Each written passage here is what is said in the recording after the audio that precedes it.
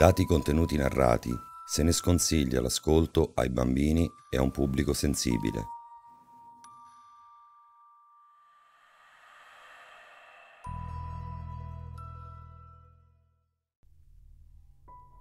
Un'altra notte insonne. Non posso addormentarmi. Immondo, impuro, folle, pazzo. È lì, accanto al mio letto, accompagna beatamente i miei sogni, come se fosse un demoniaco angelo custode che custodisce la mia vita in ogni dannato momento. Sorriso.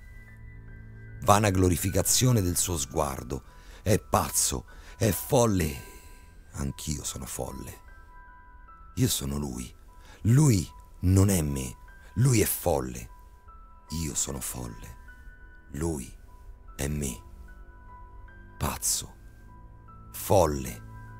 Chiudo gli occhi, la sua faccia, li riapro, il suo sorriso. La stanza è inebriata della sua scarlatta follia. Non esiste. Esiste. È folle, irreale, ma non è nella mia mente. Lo vedo ed è qualcosa di tangibile.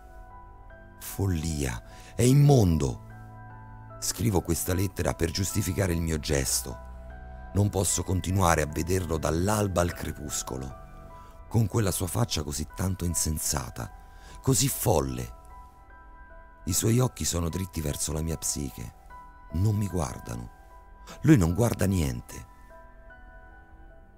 non spargerò il verbo. Lui non mi catturerà. Ora si sta avvicinando a me. Non devo lasciarmi catturare dal suo sguardo. Lui non mi avrà. Quale immonda e triste fine per me. Cammina, avanza, un passo in avanti. Mi sorride. Lui. Lui cammina, sì. Cammina ed abbaia con quel suo gutturale verso alzando i suoi sporchi denti e richiudendoli con tanta bramosa frenesia. L'apice della pazzia. Devo andare, questo lo faccio per tutti noi. Io non spargerò il verbo, non diffonderò il suo messaggio di follia. Velocemente devo prendere il coltello.